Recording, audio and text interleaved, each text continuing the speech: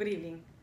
Today's class we are going to see about Unit 3, how to um, write a planning appropriately, right?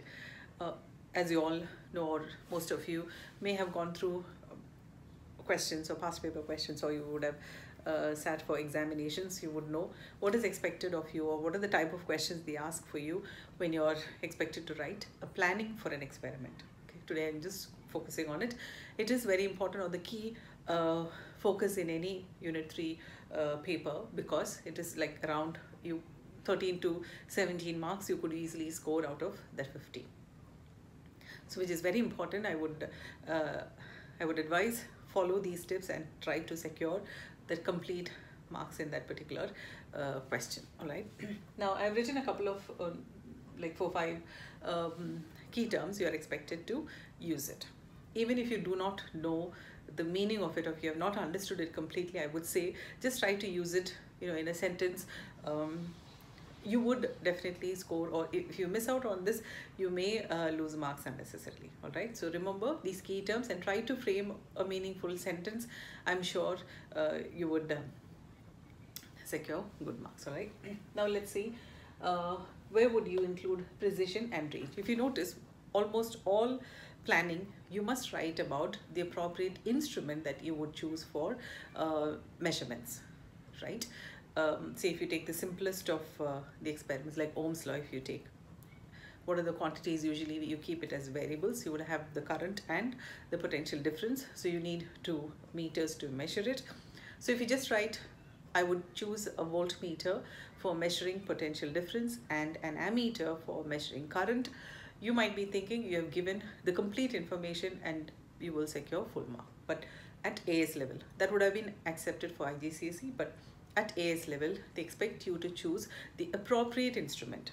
The term appropriate there is a meaning to it which means they're expecting you to write the range the precision of the instrument that uh, you're going to choose. Because ammeters as you know you have digital ammeters you have got um, milliammeter you can use a normal ammeter which records uh, readings in amperes or the maximum reading is up till milliamperes. Similarly so voltmeters also there are you, you could measure it in um, millivolt or uh, so and so. So you must mention in what precision are you going which means precision in other words is the least count the smallest reading that you're going to measure in a particular uh, using a particular instrument must be mentioned in the planning all right?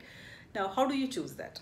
How do you make sure or which kind of instrument would be appropriate? You have to think about the maximum range that you're going to measure in a particular instrument uh, experiment sorry. Now if you're using as I said Ohm's law you might vary the voltage in uh, steps of 2 volt right? And you all know the power supply usually is in a range of 0 to 12 so you would choose a range of 15 volt uh, 0 to 15 volt voltmeter. That would be ideal. So if you take steps of 2 volt you can easily take like um, 6 to 7 readings or, like, or 1.5 or so. But then you are mentioning the read uh, range that 0 to 15 volt you will be using for measuring voltage in that particular experiment. Now since it's in the laboratory usually the current may not be in amperes because for two reasons. One the supply will not give that high a current for safety reasons. It will be in uh, milliamperes. Uh, and also you know the components or the, uh, the component that you use or the power supply that you use will be uh, will require very low current. So read through the experiment. It you will uh, as i said for ohm's law you would be using a milliammeter right? You could choose a range from 0 to 50 milliamperes would be an ideal one. So you will write 0.1 milliamperes as your precision. So what would be the precision for the voltmeter? 0.1 volt for ohm's ohm's law and 0.1 milliamperes for the current okay?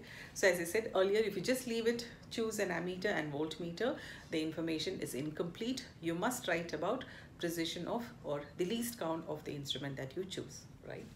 Now if possible you will write the range as well. As I told you if uh, the maximum reading is known through the experiment then you can also mention the range. If not this you can omit but precision of the instrument is compulsory for you to write it down.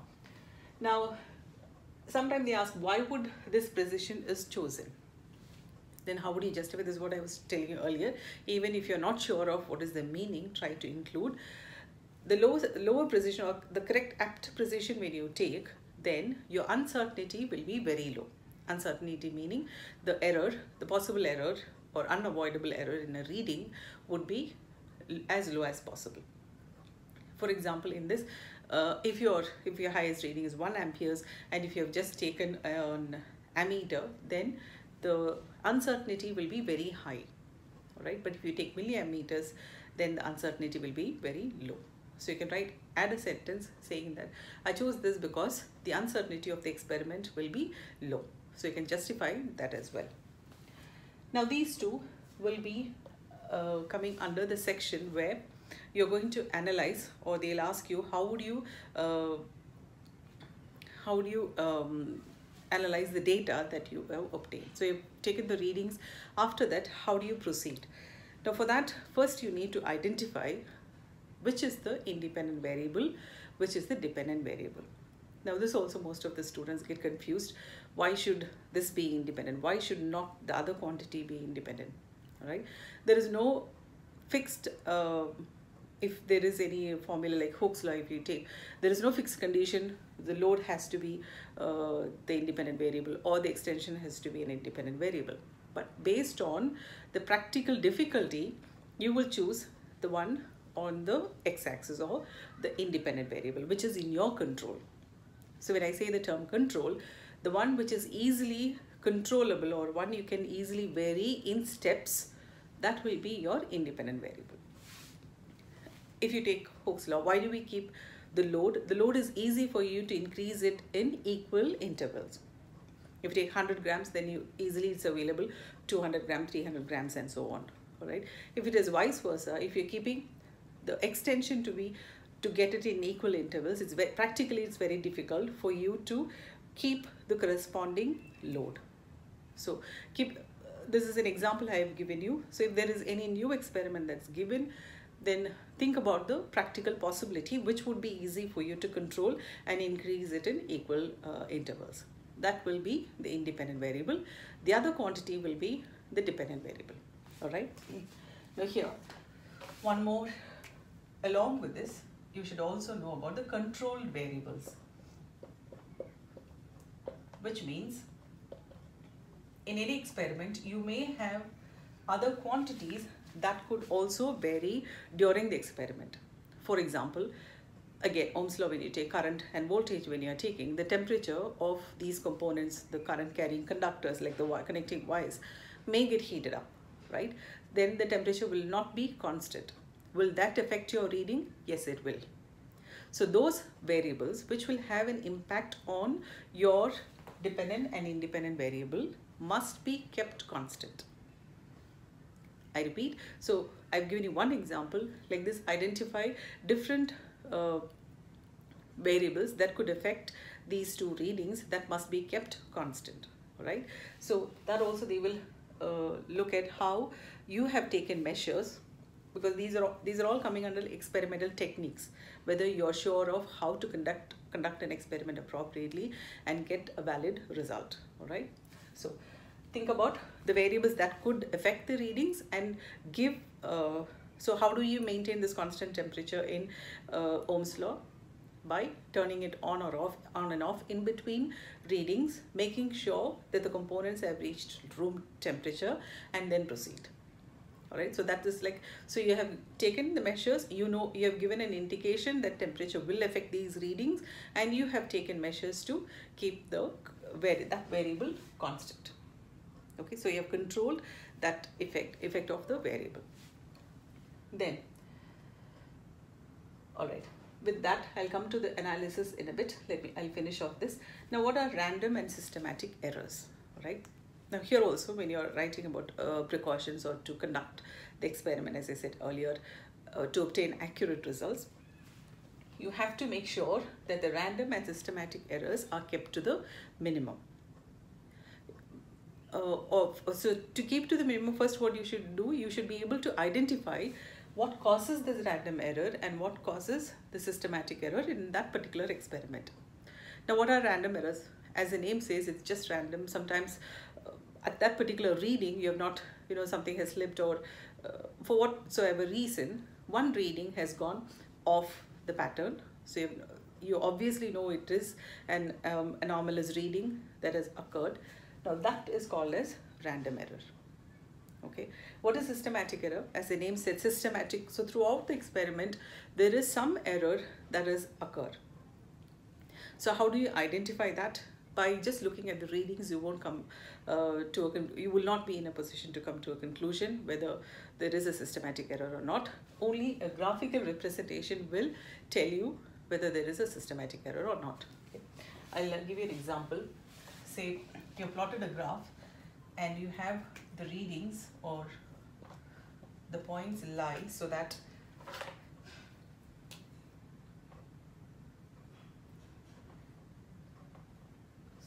so you have like almost 3 plus 2 5 points. They're almost joining. Then you have one reading of so you can see that there is a pattern of these points but one point is totally off the uh, of the set of readings that you're plotted which means this is a random reading.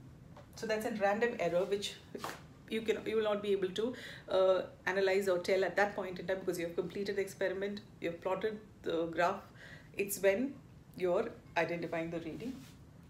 So it's not po possible to rectify at that point in time. All right, but then how do you reduce that? So you have to foresee all this before beforehand. So what we usually do is if you just take one set of readings, you will you will have to rely on that right? So you have to take multiple readings minimum of two. So we say repeated readings and then take average. So when you do that this will be reduced. The random error will be reduced right? So take repeated readings and take average that will reduce random error. So that sentence keep it in mind. Key term is random error. How do you reduce it? Repeat reading and take average that will reduce random error. Now systematic error from the graph you can easily identify if say you have an x quantity here and y if you are sure that these two quantities are proportional to each other which means say uh, like b and i if you're plotting it for a re fixed resistor then x should be proportional to y right? Then what kind of graph should be obtained? It should pass through the origin so if you notice if i draw a line of best fit then it passes through almost in the middle. And see it is having a y-intercept right? The expected graph is what? It should be passing through the origin and you should get a straight line okay? That's the expected graph but then you when you're connecting when you're drawing a line of best fit it is not passing through the origin. So what would the reason for this now here if you note every single reading has shifted by almost a same amount from the actual reading. This, this kind of error, we call that a systematic error, which means almost all the readings have an error in it. That could have happened if you think probably you have not checked check the zero error of any particular instrument. Say, uh, say the uh, ammeter had got gotten of uh, 0.1 or milliamperes uh, as uh, starting point was that. So you had not paid attention to that start reading so you have a zero error there. Right so that zero error will be there throughout. That's called systematic error. So you, you could identify from a graph by plotting a graph and then analyzing it you'll be able to identify. But then how can you reduce it or prevent it? You have to check for zero error. All right that's one possibility. One more possibility is there like Hooke's law if you're doing or any other experiment where the reading that you are measuring is not at your eye level if it is above or below or a meter the pointer is not in line with your uh, vision then there is a possibility that there is an error in that reading. If you're taking it at an angle to the reading or if you're above or below again at an angle if you're taking a reading then you will not get the accurate answer. So that probably had been you know um, coming uh, means as affected all readings. So that we call it as you may be familiar that's parallax error. Okay. So what are the causes of systematic error? It is zero error and parallax error. So these two, if you check or if you prevent, then you're reducing systematic errors, right? So keep the two, I hope you would have understood what are random errors, what are systematic errors and how to reduce it or how to prevent it could be done by taking these measurement measures. So you must mention all this in your planning, all right? Now safety measures, I cannot tell you like there, there isn't any standards uh, safety measure. It depends, it varies for uh, experiment to experiment. But all those eight core practicals, just go through the points, you know, for each individual uh, practical, what could be the safety measure. For example, acceleration due to gravity, if you're dropping metal bob, you catch it on a, a sand tray, so your feet is uh, protected, or you wear uh, thick uh, foot cover and so on and so.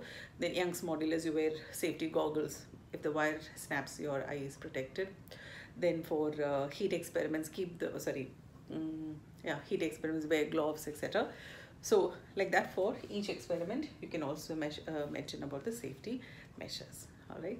I'll continue in the second part where i'll explain about how would you relate a straight line with the given equation. That's also very important in a planning.